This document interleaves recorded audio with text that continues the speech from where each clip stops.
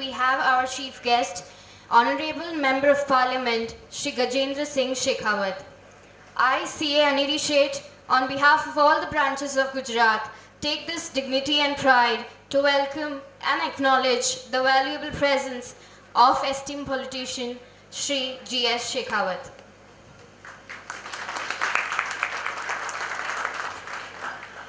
We are honored to have a chief guest whose vision is a sustainable future for all the citizens and the nation for generations to come.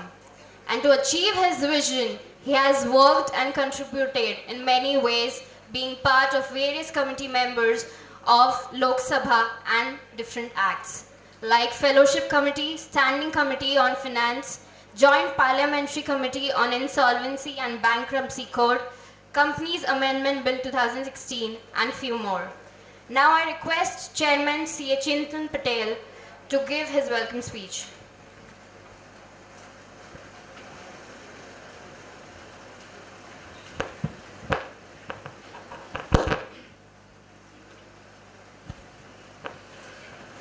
respectable, senior, highly knowledgeable chief guest of the conference, Honorable Member of Parliament, Shri Gajendra Bhai Shekhawat ji,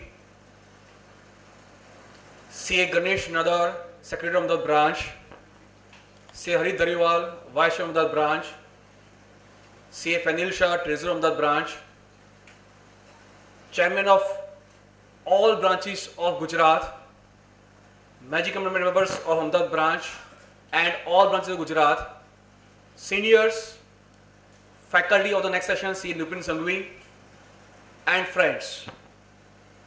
Good morning, all of you. On behalf of everyone sitting here, sir, we welcome all of to you to this conference organized jointly by all Gujarat branches. Sir, for the first time, it is a history that all 12 branches of Ahmedabad branch, all 12, 12 branches of ICI of Gujarat are united together to have conference of new opportunities, wherein, wherein the conference highlights on the four recent laws which are the most important for all the professionals. GST is on the round and everybody appreciate that GST may come and effective from 1st July. However, we should not forget the other very very important opportunities which includes Benami, PMLA, insolvency and RADA. All are driving and crazy about GST but I propose again request to each one of you to please do not ignore the opportunities which we can become the very very critical and creamy job for all of us of these new areas.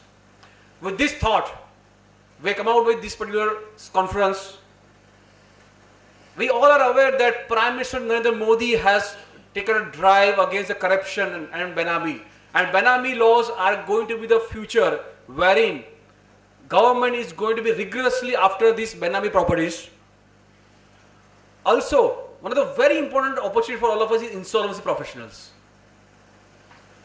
Institute of Insolvency Professionals, when I was discussing with Dipul Sangvi, he shared the fact that only 19 CAs in Gujarat have been registered as institute uh, professional in, as insolvency. And the work is voluminous.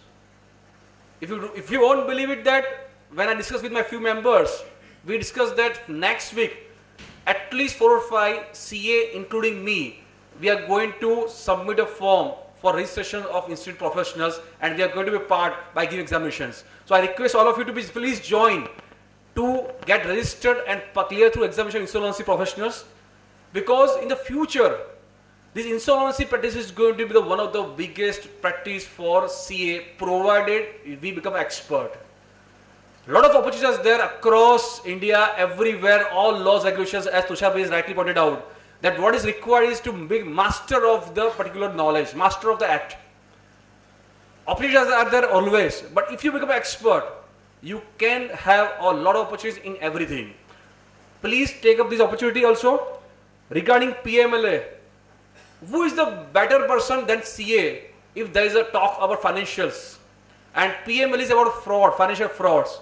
So chartered accountants are the best expert person who can really help and guide and provide consultancies regarding PMLA. RERDA is one of the very very important opportunities where it is amended, amended recently.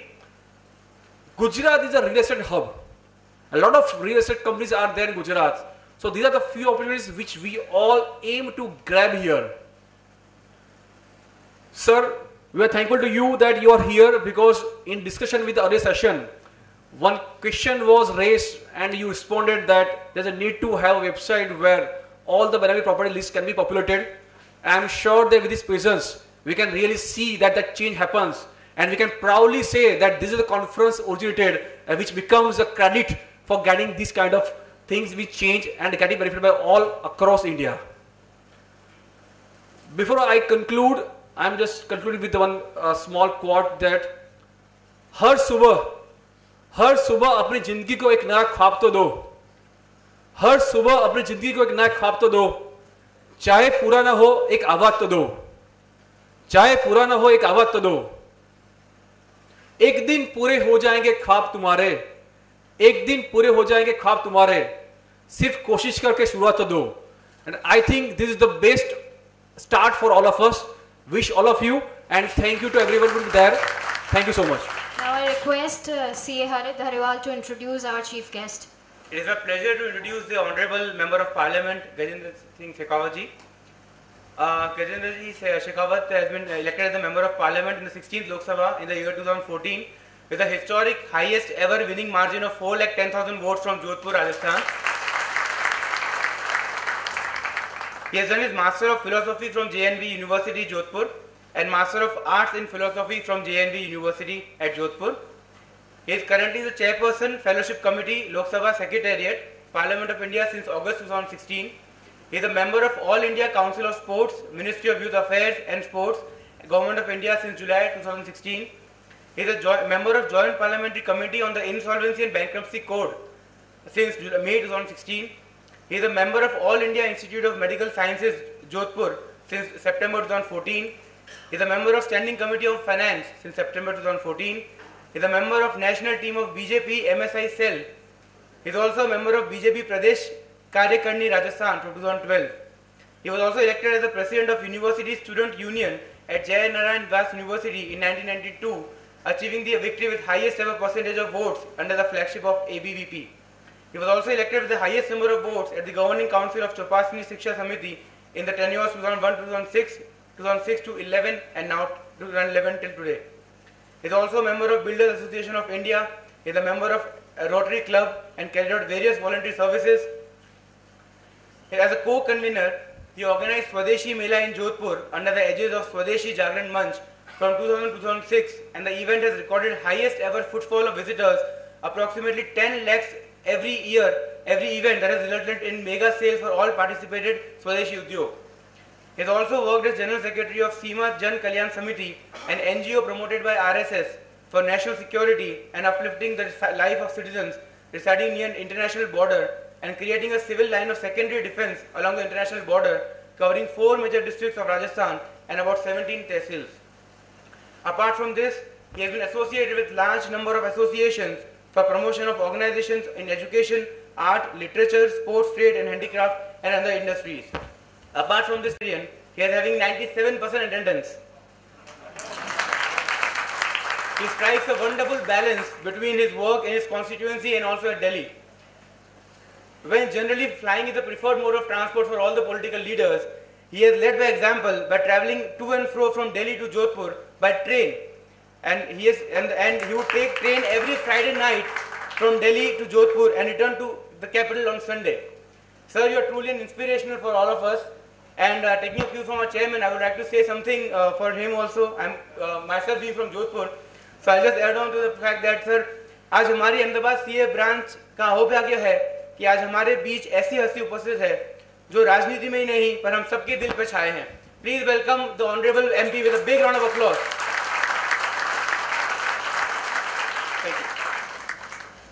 Thank you so much, sir. Now I request Chairman C.A. Chintan Patel to felicitate our chief guest.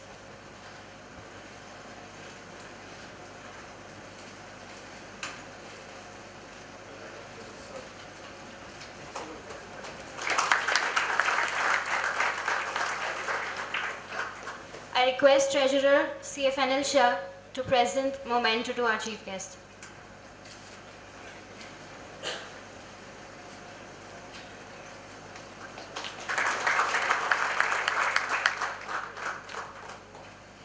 Without a much ado, um, requesting our Honorable Member of Parliament, Shri G.S. Shekhawat ji, to enlighten us with his words of wisdom. Thank you. Good morning, everybody. And I thank Chintan Bhai and his team for giving me this opportunity. मित्रों जो introduction अभी दिया गया हर इतना introduction दिया आप लोग सब बुद्धिजीवी हैं निश्चित रूप से आप लोगों ने सोचा होगा कि इसमें ये फिनेंस एंड अकाउंटिंग कहाँ से आ गया a, sport, a sportsman turned into a student leader, and thereafter a social reformist turned into a politician, student of philosophy. मुझे लगता है कि मेरे शहर की आबोहवा शायद जोधपुर की ऐसी है कि उसने मुझे आदमी फिनेंस का आदमी बना दिया बता वरना ऐसा कोई कारण नहीं था कि मैं फिनेंस और अकाउंटेंसी के सब्जेक्ट में जाता थोड़े दिन पहले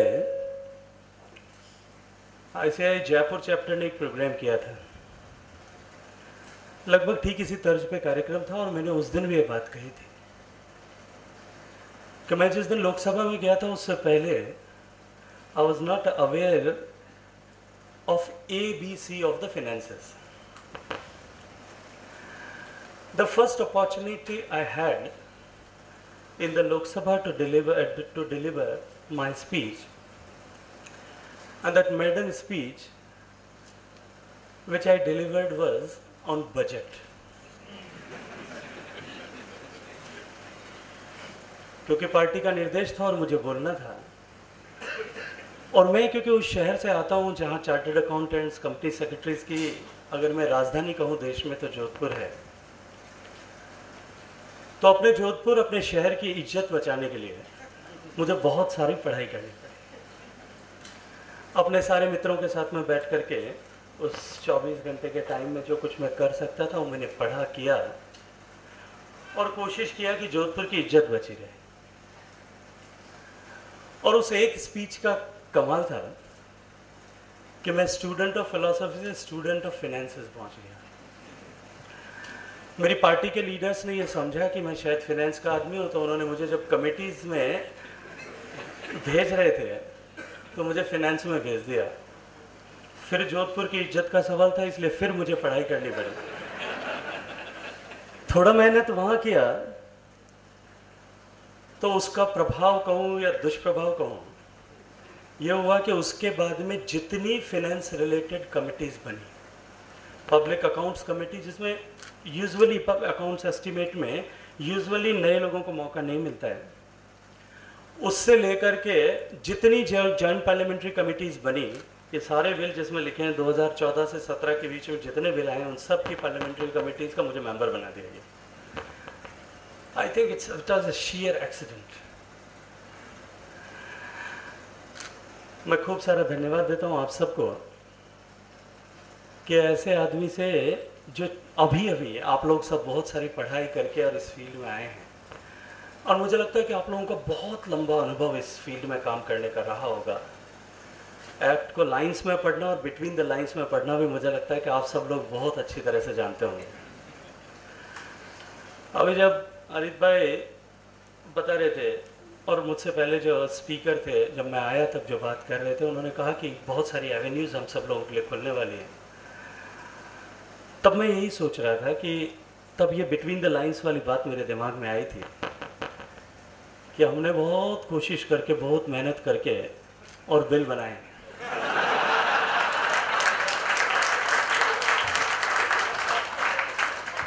और हमारी बिल को आप लोग कैसे पलीता लगाते हैं, ये मैं देखने मित्रों, मैं आई एम सो ग्लैड कि मैं अभी लोकसभा के उस सत्र से आ रहा हूँ, जो अपने आप में एक ऐतिहासिक सत्र था। और यदि प्रोडक्टिविटी के स्केल पर देखें तो हिंदुस्तान की आज़ादी के बाद से लेकर के अब तक लोकसभा के किसी एक सेशन में सबसे ज़्यादा प्रोडक्टिविटी परसेंटेज रही है तो पिछले सेशन में रही है। पूरे पार्लियामेंट के कंटेक्स में अगर बात करूँ तो भी पहली बार, आज़ादी के बाद में पहली बार लोकसभा ने 117 परसेंट और राज्यसभा ने 92 परसेंट राज्यसभा के कारणों को आप अच्छी तरह से जानते हैं। 92 परसेंट प्रोडक्टिविटी रजिस्टर की है। मित्रों, ये जो फिगर्स है, ये नंबर्स हैं, ये नंबर्स अपने आप में किसी भी फॉर्च्यून 500 कंपनी के लिए प्रोडक्टिविटी के हिसाब से यदि मैं देखूँ तो ये ईर्ष्या का कारण हो सकते हैं। They can be a cause of envy दुनिया की सबसे बड़ी, सबसे successful company Google 137 percent productivity पे काम करती है। और आई थिंक आप लोगों को इस बात के लिए तो कम से कम देश को गर्व होना चाहिए कि हमारी पार्लियामेंट अब गूगल से कंपटीशन कर रही है। किसी भी ऑर्गेनाइजेशन किसी भी कंपनी की प्रोडक्टिविटी उसके स्टेक होल्डर्स वो स्टेक होल्डर्स कितने मोटिवेटेड हैं?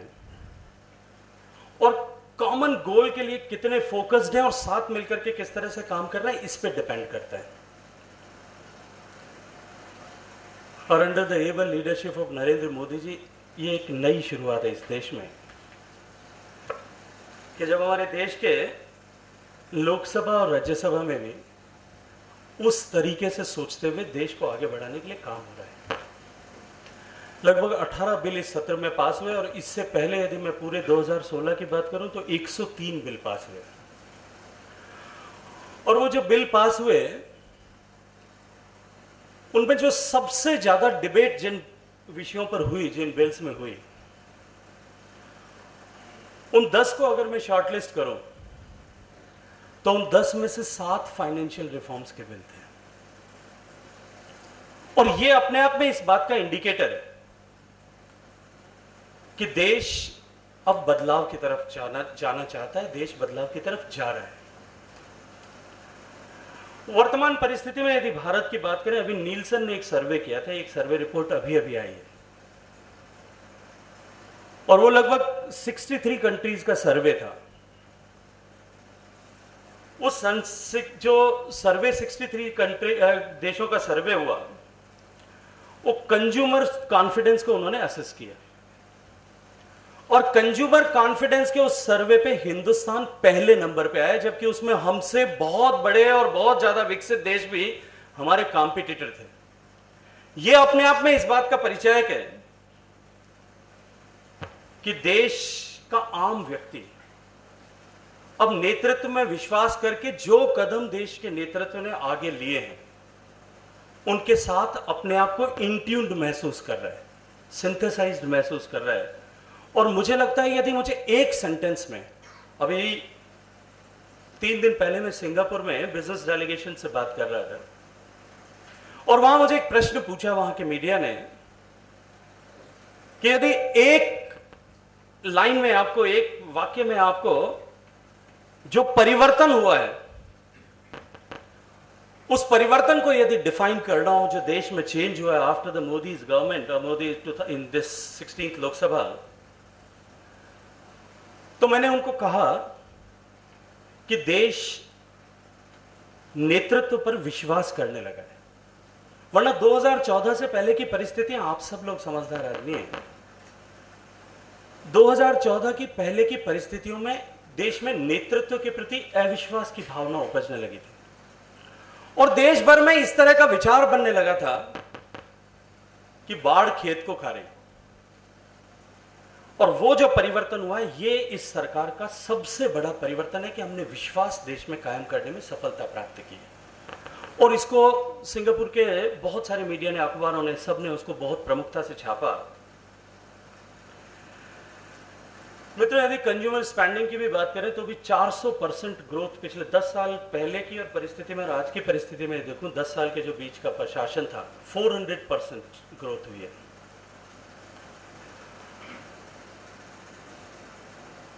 कुल मिला के इन, ये जितने भी रिफॉर्म्स हुए इन रिफॉर्म्स के माध्यम से देश को ट्रांसफॉर्म करना, क्योंकि हम केवल देश को रिफॉर्म करने के लिए नहीं, देश को ट्रांसफॉर्म करने की भावना के साथ में सत्ता में है, जैसा मोदी जी अनेक अपने भाषणों में इस बात को कोट करते हैं। इनके माध्यम से जो चुनाव के पहले या चुनाव के समय जो पार्टी ने और सरकार बनने से पहले माननीय मोदी जी ने जो बात कही थी कि हम देश में काला धन को समाप्त करेंगे। जो काला धन विदेशों में पड़ा है, उसको वापस लाने की दिशा में काम करेंगे। और ये जो फाइनेंशियल रिफॉर्म्स पिछले दो ढाई साल के पीरियड में हुए हैं, मित्रों एक ठोस फाउंडेशन एक स्ट्रॉन्ग फाउंडेशन फुटहोल्ड क्रिएट हुआ है। बहुत सारे लोग इसकी चर्चा करते हैं, बहुत सारे फाइनेंशियल एनालिस्ट इसके बारे में बात करते हैं। ब्लूमबर्ग ने थोड़े दिन पहले एक आर्टिकल लिखा था। 2016 में के अंत में एक आर्टिकल लिखा था रिगार्डिंग दीज रिफॉर्म्स और उन्होंने खुद ने लिखते हुए रॉबर्ट ने इस बात को महसूस किया था, इस बात को स्वीकार किया कि जब 2015 में जो मैंने लिखा था, अपने ही एक आर्टिकल को कोट करते हुए उन्होंने लिखा कि जो 2015 में मैंने लिखा था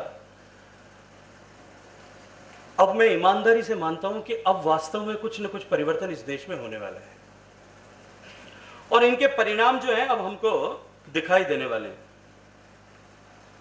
एसआईटी बनी, मैं बहुत विस्तार से बात नहीं करूँगा। शुरुआत में एसआईटी बनी। एसआईटी के बाद में ब्लैक मनी का जो बिल आया, उसके बाद में हमने जो विदेश में जमा धन है, उसके बारे में, विदेश में प्रॉपर्टी है, उसके बारे में बिल आया।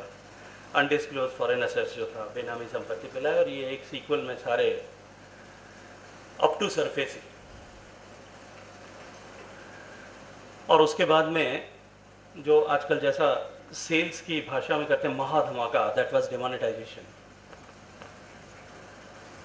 इस पूरी सीक्वल का इन टोटो यदि स्टडी करें तो दो तरह के परिणाम हम सब लोगों के सामने दिखाई देंगे। एक तो निश्चित रूप से देश में एक विश्वास कायम हुआ है। मैं अभी पंद्रह तारीख को बीकानेर में बुद्धिजीवियों के एक वर्ग से बात कर रहा था जिसमें चार्टर्ड अकाउंटेंट्स भी थे, इंडस्ट्रियलिस्ट भी थे, ट्रेडर्स भी थे, इंजीनियर्स भी थे, डॉक्टर्स भी थे, कुछ फिलेंथ्रोपिस्ट भी थे। और मुझे एक बात की अत्यंत प्रसन्नता हुई। One to one interactive session था और उस इंटरेक्टिव सेशन में दो तीन लोगों ने खड़े होकर के जो स्पेशली इंडस्ट्रियलिस्ट थे, या ट्रेडर थे, उन लोगों ने खड़े होकर के कहा कि गवर्नमेंट ने बहुत हार्श स्टेप्स लिए। दो, हमारे चार्टर्ड अकाउंटेंट्स की भाषा बदल गई है। जो पहले हमको टैक्स बचाने के बारे में समझाते थे, अब टैक्स पे करने के बारे में समझाने लगे और उन्होंने इससे आगे कहा कि ये स्टेप्स बहुत सारे स्टेप्स बहुत ज़्यादा हार्श हो गए हैं और ये हार्श स्टेप्स तो हैं, इनके कारण से ये होने वाला है। हालाँकि हम अब हिंदुस्तान के व्यापारी, अब हम ये मानने लगे कि हमको टैक्स पे करना चाहिए। हमारी मन स्थिति बदली है। तो मैंने हँसते हँसते उनसे कहा कि मुझे लगता है कि इससे बड़ी सफलता इस देश में, इस सरकार की कुछ हो नहीं सकती। कि हम इतने छोटे से पीरियड में आपकी मन स्थिति बदलने के में कामयाब हुए। मैंने उनसे कहा कि एक माँ जब अपने छोटे बच्चे को कोई गलती करते हुए देखती है, और वो उसको प्यार से एक चपत भी लगाती होगी, उसको डांटती भी होगी, उसको सजा देने का भय भी दिखाती होगी, अगर ये नहीं किया तो मैं तुझे ये आइंदा ऐसा किया तो मैं तुमको हॉस्टल में भेज दूँगी। मुझे लगता है ये उतने ही हार्श होते हैं जितने हार्स जो है, जितने हैं, कुछ लोगों ने कहा, ये ड्रैकोनियन लो है। मैं उससे ज़्यादा ड्रैकोनियन नहीं है कि एक माँ अपने छोटे से बच्चे को ये कहे कि तुमको हॉस्टल में भेज दूँगी, अपने घर से बाहर निकाल दूँगी। ये मानसिकता परिवर्तन करने के लिए ये जो है, ये स्टेप जिस तरह से लिए हैं, निश्चित रूप से सबको ये बात स्वीकार करना पड़ेगा कि सरकार रिफॉर्म से किसी भी तरह का टैक्स टेररिज्म पैदा नहीं करना चाहती। और निश्चित रूप से एक बात सिद्धांत है, सरकार की part of its basic ideology है कि हम ईमानदार को, ईमानदार टैक्स पेयर को, उसको किसी तरह की कोई परेशानी नहीं हो, इसके लिए पूरे कमिटमेंट के साथ में काम करें। बहुत सारे टैक्स रिफॉर्म्स हुए और मैं, मुझे लगता है कि मुझे बहुत ज़्यादा डिटेल में उन सारे रिफॉर्म्स के बारे में बात करने की आवश्यकता नहीं है, क्योंकि जब मैं आया था और जिस तरह से बात हो रही थी, मुझसे ज़्यादा बड़े एक्सपर्ट्स और जैसा मैंने कहा कि लाइंस और बिटवीन द लाइंस में पढ़ने और पढ़ाने वाले लोग सब यहाँ हैं। मैं तो जनरल इम्पैक्ट की बात करता हूँ कि किस तरह से इसमें देश में परिवर्तन होने की संभावना है। देखिए काला धन ये जो जो जिन जिन लॉज की हम सारे लॉज की बात कर रहे हैं बेनामी property insolvency real estate prevention of money laundering इसके अतिरिक्त भी जो सरकार के बेसिक मोटिव था और जो बेसिक डिक्लेरेशन था कि हम काले धन से संघर्ष करेंगे, इस देश को उससे मुक्त करेंगे। दो तरह के प्रयास एक साथ हुए। एक तो ये कि काले धन के जो सोर्सेज है, उन सोर्सेज पे किस तरह से लगाम लगाई जाए। क्योंकि केवल हम काला धन जहाँ कंज्यूम होता है, उसके ऊपर कार्रवाई करेंगे तो वो एक तरफा कार्रवाई होगी और कभी इसका जो है पूरा परिणाम हमको नहीं मिल सकेगा।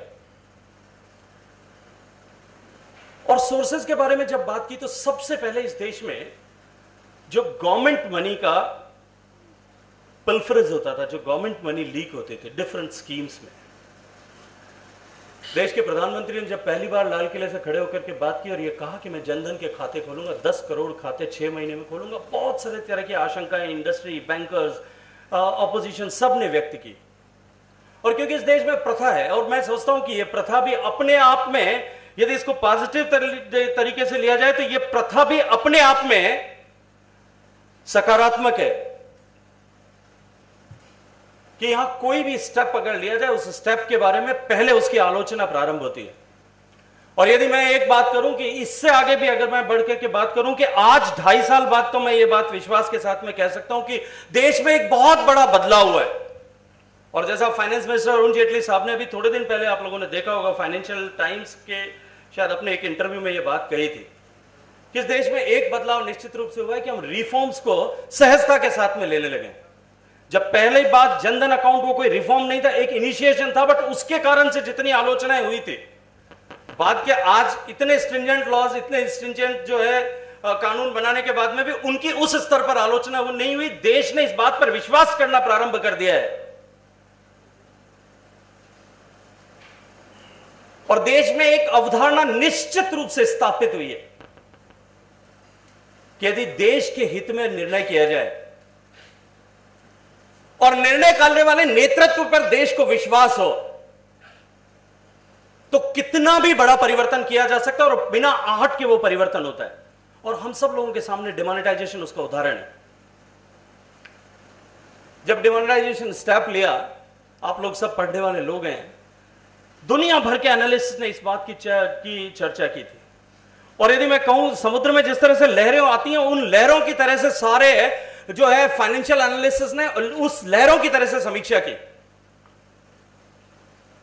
जहाँ से लहर इनिशिएट होती है, सबसे लोअर पॉइंट जिस दिन डिमोनेटाइजेशन स्टेप क्योंकि मैं डिमोनेटाइजेशन स्टेप लेने से पहले जो कुछ लोग इस पे काम कर रहे थे, मैं उसका भी एक हिस्सा था।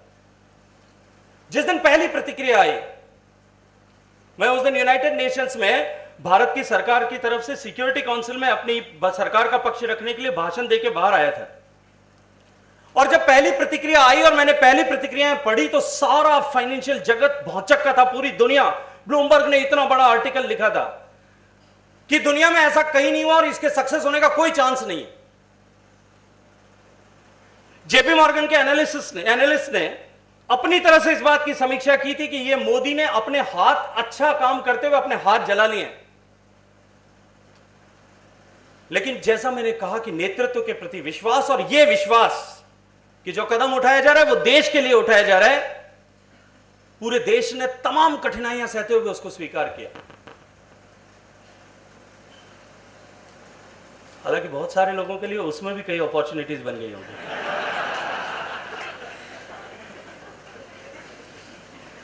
धीरे धीरे प्रतिक्रियाएँ बदली। और जिस तरह से लहरें ऊपर उठती, वो वो बढ़ते बढ़ते वो प्रतिक्रियाएँ सारे स्वर विरोध में बात कर रहे थे। लेकिन डेढ़ महीना बदलने के बाद में, आप सीक्वल में, गूगल पे सर्च कीजिएगा, सीक्वल में जिस तरह से ये आर्टिकल्स को पढ़िए धीरे धीरे वो समुद्र में जिस तरह से लहर नीचे जाती है धीरे धीरे धीरे धीरे धीरे धीरे उनकी प्रतिक्रियाएँ अप होती गई। एंड पूरे सब लोग अंत में दिसंबर आते आते सारे लोग सिंथेसाइज होकर एक स्वर में बात करने लगे कि एक नायाब अद्भुत काम इस देश में हुआ है। मैं बात कर रहा था जनधन के खाते जब खोलने की बात की, अनेक तरह की प्रतिक्रियाएँ और मुझे लगता है आज़ाद हिंदुस्तान में पहली बार कोई इतना बड़ा पब्लिक इनिशिएटिव जिसके लिए एक समय सीमा तय की गई थी कि हम छह महीने में दस करोड़ खाते खोलेंगे।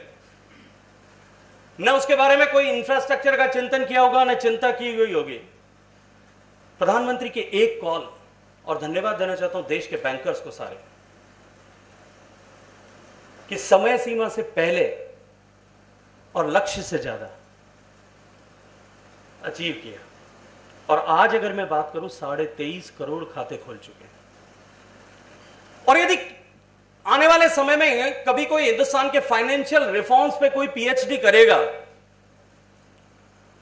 और आने वाले 50 साल बाद में हमारा देश जिस स्तर पर होगा, उस स्तर पर रहते हुए कोई, क्योंकि मैं विश्वास के साथ में एक बात मैं कह सकता हूँ, मित्रों, आप रजिस्टर करके रख सकते हैं। शायद मैं होऊँगा या नहीं होऊँगा।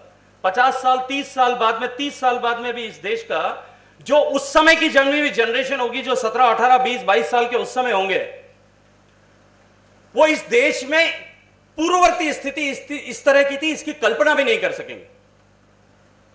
और वो जब कभी अध्ययन करेंगे, वो जब कभी रिसर्च करेंगे तो उस रिसर्च का पहला शुरुआत का बिंदु यदि कोई होगा कि ये देश करप्शन से मुक्त होने की तरफ़ कैसे बढ़ा तो पहला जनधन होगा।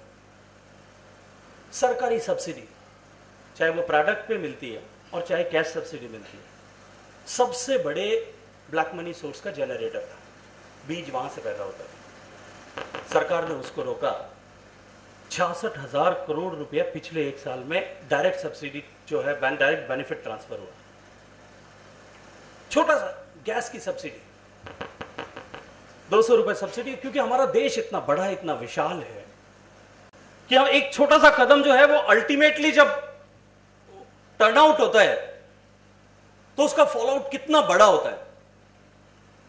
सब्सिडी को डायरेक्ट खाते में ट्रांसफ़र करना, क्योंकि खाता था, इसलिए अपॉर्चुनिटी है कि हम खाते में ट्रांसफ़र कर सकते हैं, वरना जो कोई जिनके वेस्टेड इंटरेस्ट थे वो लोग इस दिशा में कि क्योंकि खाता नहीं है, इसलिए ट्रांसफ़र नहीं हो सकता। सब्सिडी डायरेक्ट ट्रांसफ़र भी मित्रों, आप लोगों ने पढ़ा होगा, चौबीस हज़ार करोड़ रुपए पिछले एक साल में सरकार के पास में बचे।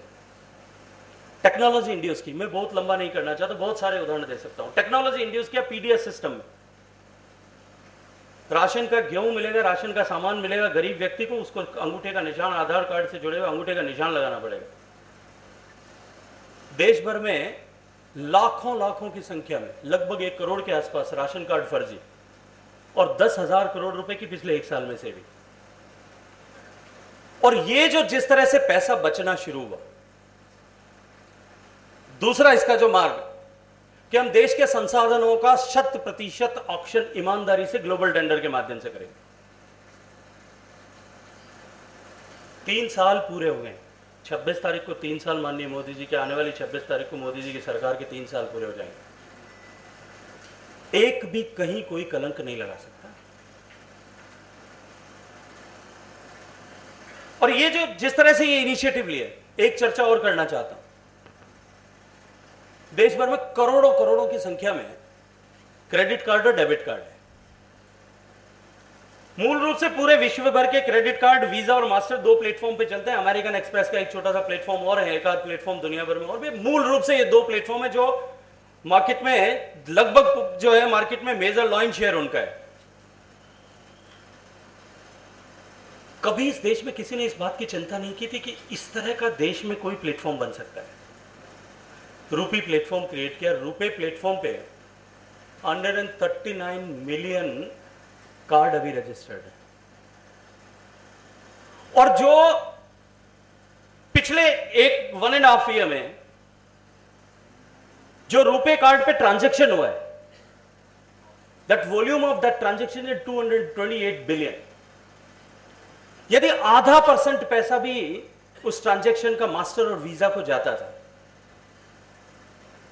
मैं तो अर्थमेटिक का स्टूडेंट नहीं हूँ फिलोसफी का हूँ, पर आप लोग सब अच्छी तरह से गिने होंगे। आप लोग अब हिसाब लगा सकते हैं कितना पैसा देश के पास में बचा है।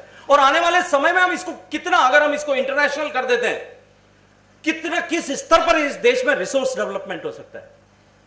और ये जो रिसोर्स डेवलपमेंट दो तरह से, एक तो हम भ्रष्टाचार को रोकेंगे, और भ्रष्टाचार को रोक करके काला धन के सृजन पे रोक लगाएँगे।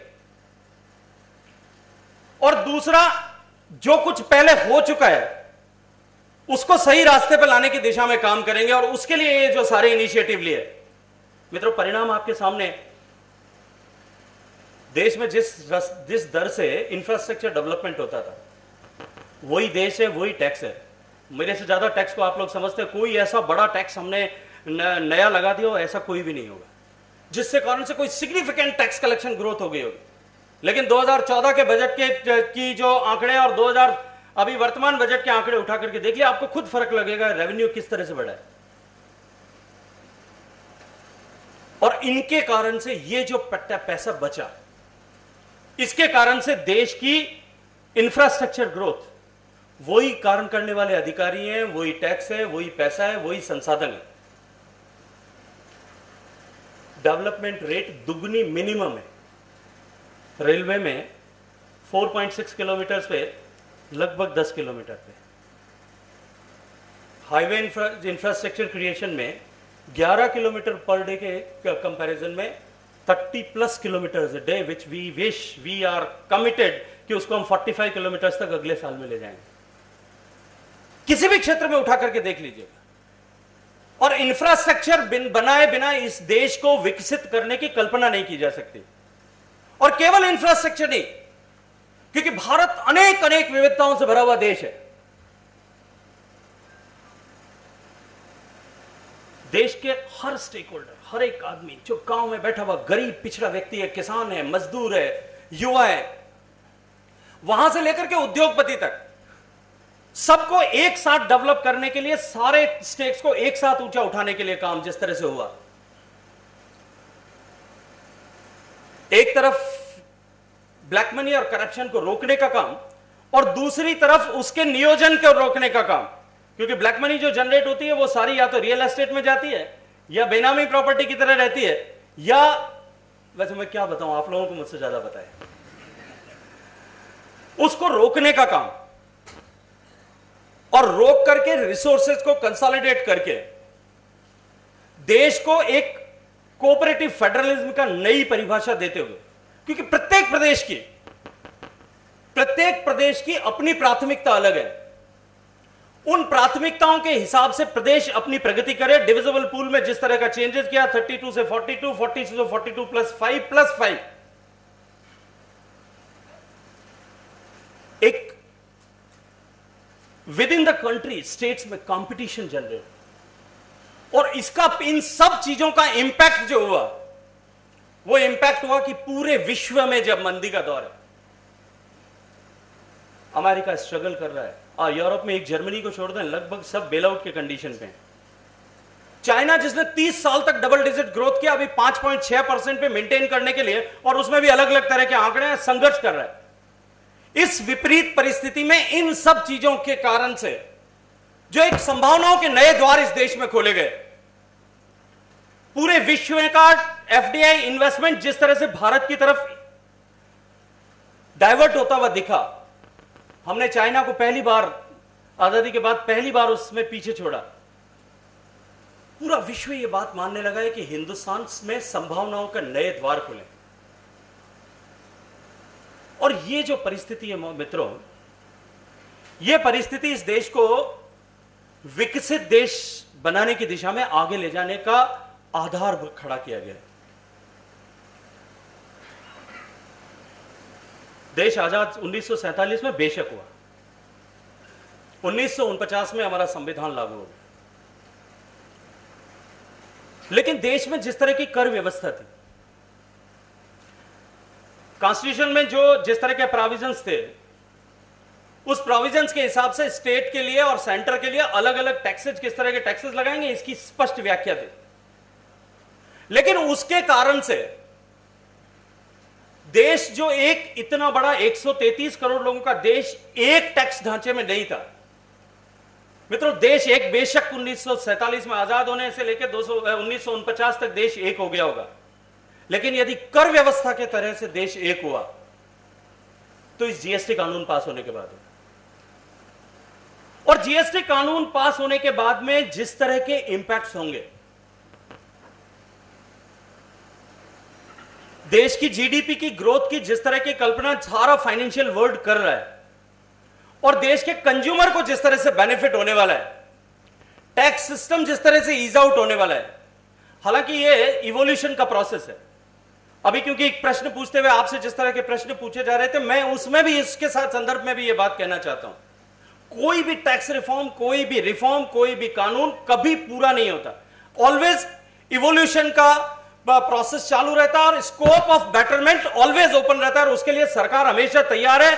जब कभी भी, जहाँ कहीं भी इंस्टीट्यूशंस हालाँकि ये सारे कानून, चाहे बेनामी का कानून बनाया था, जब रियल एस्टेट का कानून बनाया था, चाहे जीएसटी का बनाया था, और क्योंकि मैं इन सारी जगहों पे मौजूद था, मैंने कॉमनली देखा, सारे हमने इवन कमेटी में भी फाइनेंशियल का फाइनेंस कमेटी में लोकसभा में भी। और जेपीसी में भी दोनों में सारे इंस्टीट्यूशंस को, सारे स्टेक होल्डर्स को सबसे चर्चा करके, वार्ता करके बार बार सेशंस करके चार्टर्ड अकाउंटेंसी एसोसिएशन और कंपनी सेक्रेटरीज के साथ में भी कम से कम चार चार सेटिंग्स करके और उसके बाद में मंथन करके ये स्थिति क्रिएट की गई। लेकिन फिर भी इवोल्यूशन का प्रोसेस लगातार चलने वाला प्रोसेस है।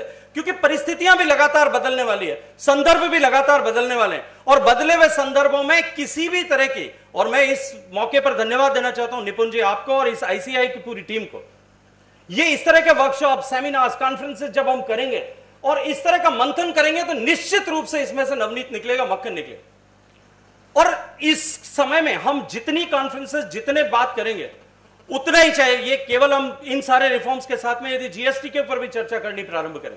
निश्चित रूप से देश भर में जीएसटी पे बहुत सारी कॉन्फ्रेंसेस हो रही हैं। और अभी जीएसटी काउंसिल एक बार टैक्स स्ट्रक्चर को डिफाइन कर दे।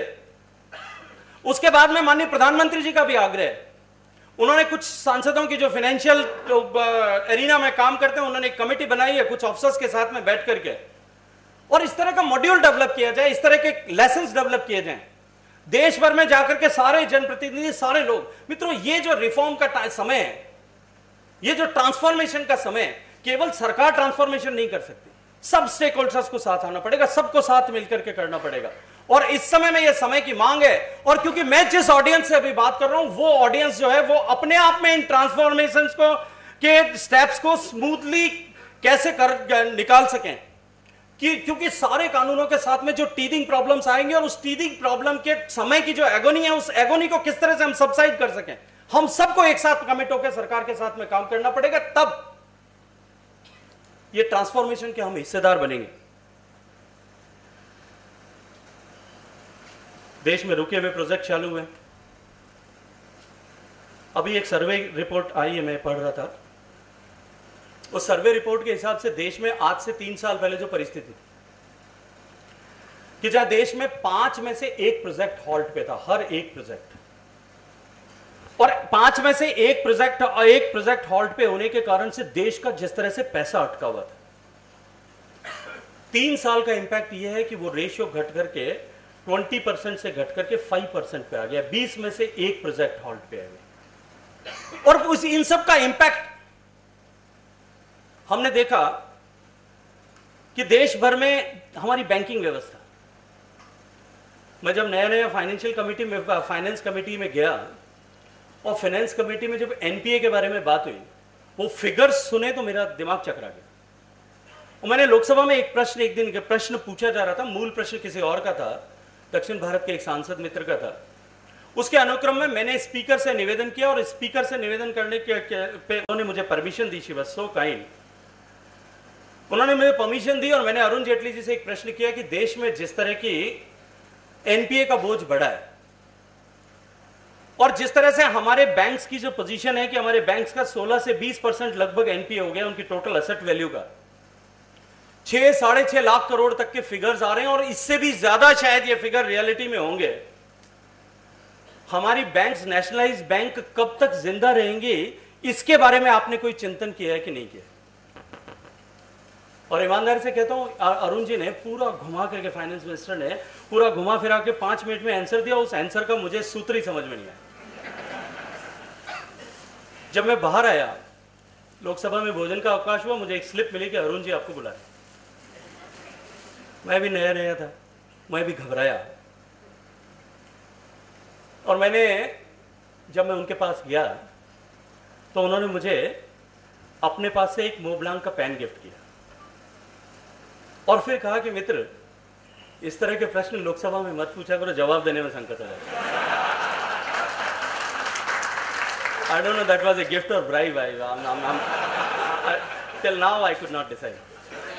But लेकिन उन्होंने साथ में बाद में जो इसके ऊपर किस तरह से हम काबू पा सकते हैं इसके बारे में जो एनलाइटमेंट पाँच मिनट में किया पाँच सात मिनट के टाइम पे मुझे लगा कि एकदम क्रिस्टल क्लियर कॉन्सेप्ट और उस पर काम होगा।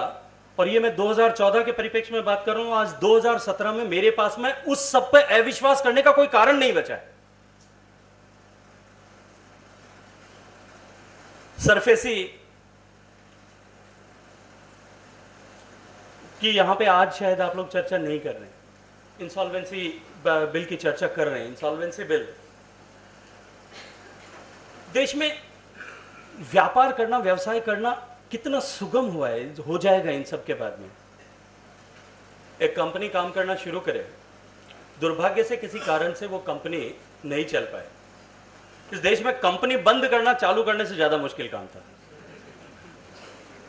और ज़्यादा लंबा काम भी था। इन सबको जब हम ईज आउट नहीं करेंगे तो वातावरण का निर्माण नहीं होता। अब सरफेसी 1909 के प्रेसिडेंशियल लॉ से लेकर के और 2013 के कंपनी एक्ट तक। कितनी तरह के ओवरलैपिंग कानून थे। और उन ओवरलैपिंग कानून के का, की कमज़ोरी का फ़ायदा उठा करके हमारे professionals I don't blame anyone किस तरह से चीज़ें अटकती थी। बैंक्स को अपनी एसेट रिकवरी अगर पूरे देश की तुलना करें जर्मनी में छह महीने में बैंक अपनी एसेट रिकवर कर सकता है। यूके में एक महीने का टाइम एक साल का टाइम अमेरिका में डेढ़ साल का टाइम है। साउथ कोरिया में ढाई साल का टाइम है। और हमारे यहाँ? कोई टाइम नहीं था। इस टाइम को खत्म करने की ज़रूरत है। क्योंकि अल्टीमेटली बैंक का पैसा है, वो देश का पैसा है। और इसका समुचित निस्तारण अगर नहीं होगा टाइम फ्रेम पहली बार जब डिसाइड किया टाइम फ्रेम अभी बात कर रहे थे इंसॉल्वेंसी एजेंट्स की। मैं जब कमेटी में बैठा था, ये बिल जब फाइनेंशियल जब जेपीसी को रेफर हुआ, और जब आईए पे जो है परफॉर्मेंस बॉन्ड की बात आई, मैंने विरोध किया। वहाँ डिसेंट लिखा। सरकार की तरफ़ बिल आते हुए भी पूरे साहस के साथ में डिसेंट लिखा।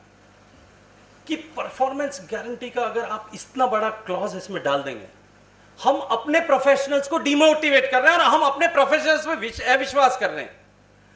और मैंने कहा कि यह समय अविश्वास का नहीं है। अब विश्वास का समय और हमको अपने प्रोफेशनल्स पे विश्वास करना पड़ेगा और उनको मोटिवेट करना पड़ेगा। उनको इस बात के लिए जागृत करना पड़ेगा कि वो देश के इस कॉज में हमारे साथ खड़े हों। और जो बीकानेर की बात मैंने अभी आपको कही, मित्रों, मुझे लगता है कि वो परिवर्तन अपने आप में दिखने लगा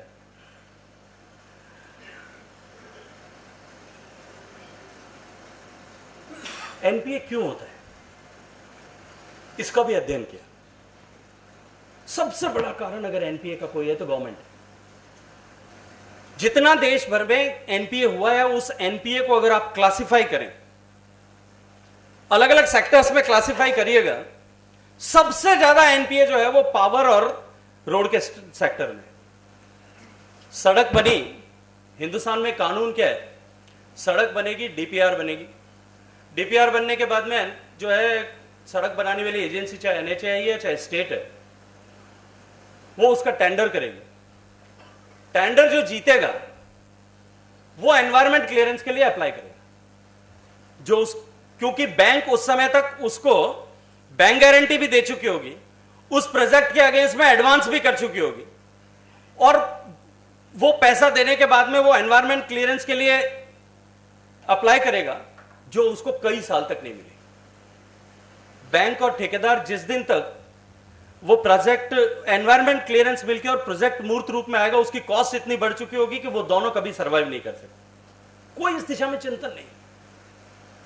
अनेक ऐसे कारण, जहाँ गवर्नमेंट डायरेक्टली इन्वॉल्व है, सारे रिफॉर्म्स किए गए। एनवायरमेंट क्लियरेंस के कानूनों में परिवर्तन किया और हिंदुस्तान के कॉन्ट्रैक्ट एक्ट में परिवर्तन किया। और इस तरह से जिस छोटी छोटी चीज़ों का परिवर्तन करके जिस तरह से काम करने को ईज आउट किया।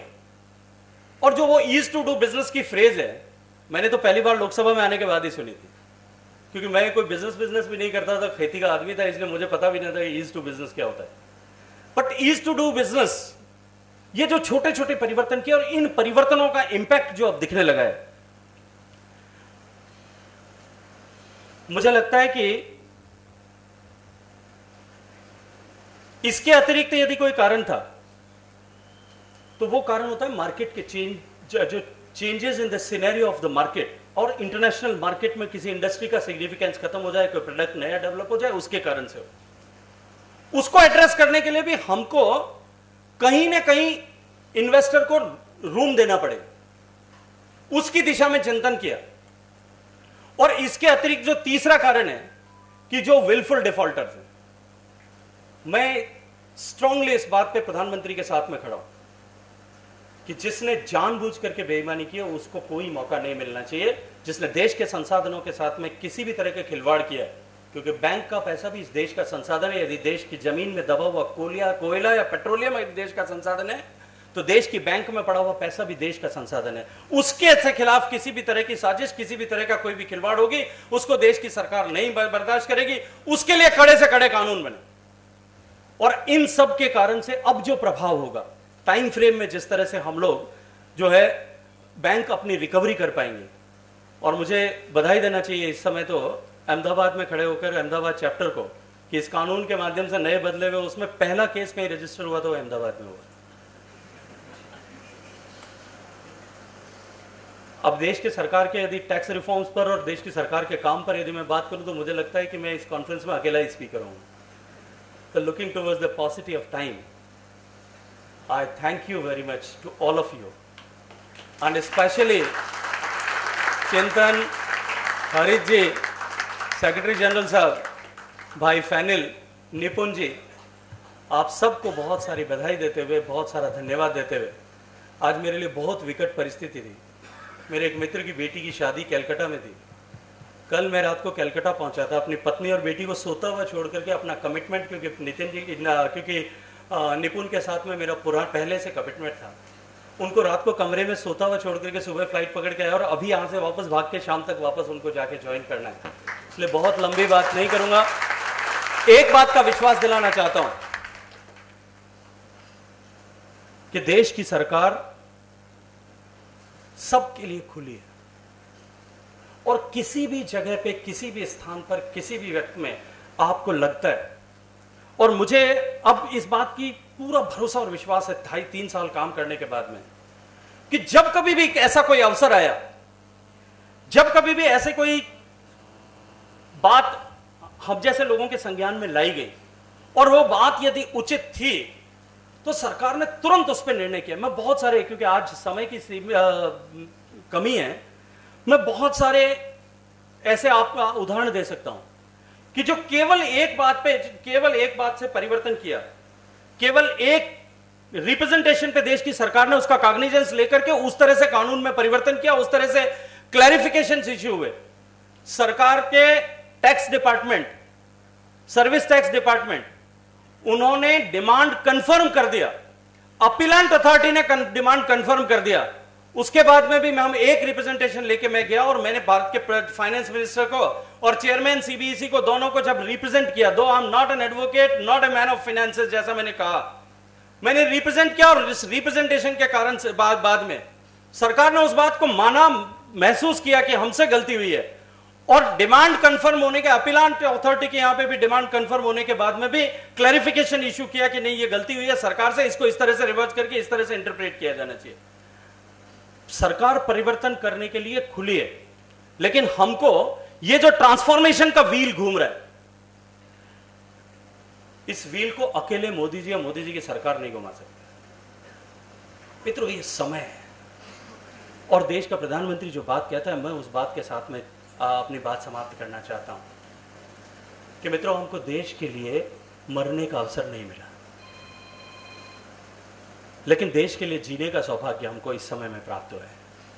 और जब कभी भी इस देश का इतिहास 50-100 साल बाद में लिखा जाएगा फाइनेंशियल रिफॉर्म्स का इतिहास लिखा जाएगा, चाहे इस देश का इतिहास लिखा जाएगा, मित्रों, देश के इतिहास में जो बड़ी घटनाएँ हुई है, बहुत पुरानी नहीं मेडिवल हिस्ट्री की भी छोड़ दें, आज़ादी का आंदोलन या आज़ादी का आंदोलन के क्रम में जिस तरह से हुई क्विट इंडिया मूवमेंट हुआ, जो भी भारत छोड़ो मूवमेंट आंदोलन हुआ, हम काम नहीं करेंगे, ऐसे आंदोलन हुए, किस, जो भी जितनी भी तरह के हुए और आज़ादी के बाद में भी।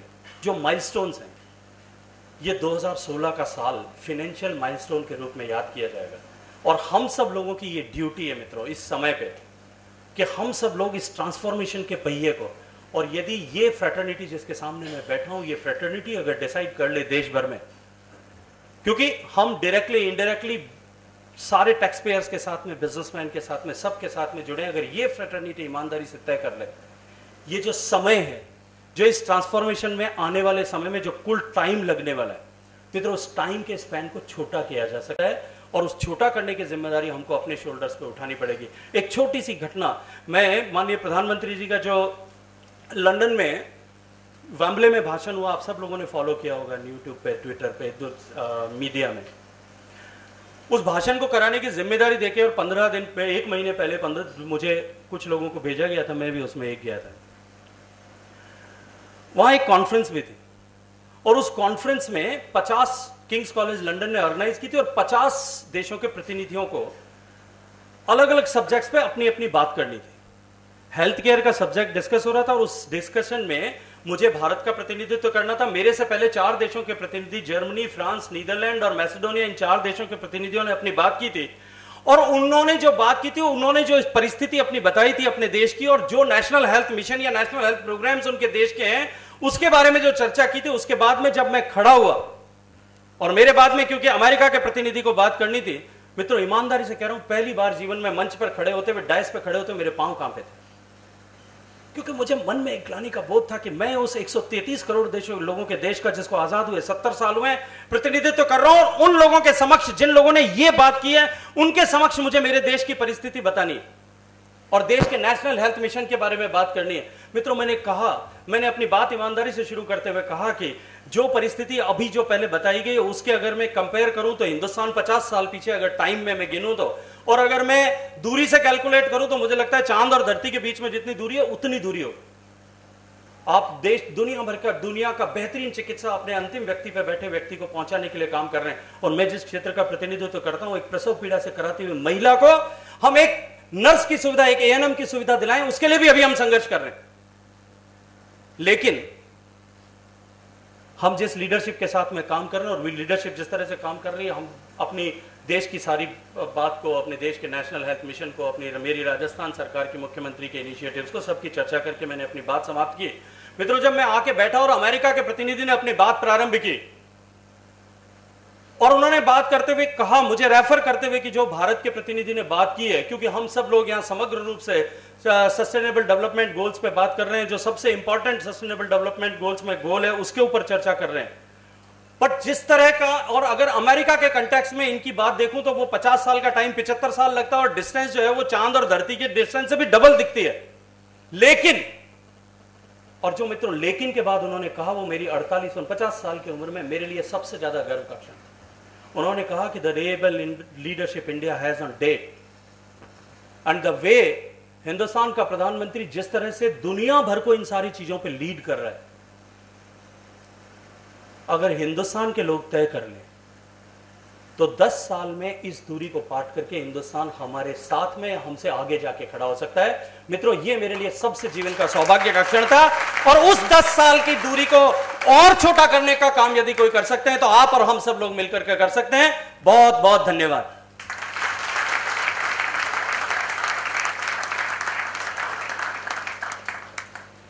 extremely grateful to our chief guest for sharing his insight. Uh, before going forward, uh, there is a problem with the parking zone. There are three cars who is, which is parked in the unparking, non-parking zone. GJ1KP5235, GJ02BH3186, GJ01KO4906. Please, responsible owner, do the needful. Thank you. Now I request Secretary CA Ganesh Nadar to give word of thanks. Thank you, Aniri. Sir, it's a honor and privilege to have you here with us. Truly a very inspiring leader for us. Your profile and knowledge makes us feel you're very much as us, chartered accountant. A big thank you to you for accepting our invitation and sharing more on insight about parliamentary activities your information about productivity, work culture, commitment, reforms, transformation, creation of strong foundation, commitment towards honor, honest taxpayers, black money, demonetization, subsidy, auction, infrastructure, GST, Insolvency Act implementation, NPA, willful defaulting, ease of ease to do business, and the last, more about Parivartan, Netrutva par Vishwas, the factor which ignited everybody to move ahead, shows us how we are moving ahead as a country. So we as a chartered accountant all are with you in every way and manner in the wheels of transformation which is changing our country. A big thank you to you, sir, for being with us. Special thank you to CA Nipum Sangvi for coordinating it us within a short time, seeing that we have one of the best person as a chief guest. With this, we move ahead, and I would like to uh, tell you one more thing that well, this is a new happening on future knowledge. This program, knowledge areas for new practice, which we all want to be there it will be a good, happier learning for everybody in this seminar, in this conference. Uh, we, I, I, in this program, I would all recognize the managing committee members who are present here and the managing committee members who had actually worked very hard to see that this conference be a big, big success. Recognizing the presence of Anand Managing Committee, Baroda, Baruch, Bhavnagar, Bhuj, Gandhidham, Jamnagar, Navsari, Rajkot, Surat, Vapi. Thanking the MOC team for being supporting to this program. With this, uh, to end up, I would thank everybody participating. Happy learning for new tomorrow. Thank you.